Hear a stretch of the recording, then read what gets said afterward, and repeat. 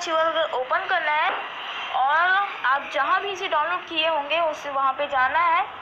और the amazing Spiderman to का जो डेटा है, उसे एक्सट्रैक्ट करके डिवाइस मेमोरी में जाके एंड्रॉयड का ओबीवी में जाना है। बट गाइस सारे मोबाइल में ओबीवी फोल्डर नहीं बना होता तो आप यहाँ पे जाके क्रिएट से न्यू फोल्डर बना सकते तो मैं इसे नहीं करूँगा। फिर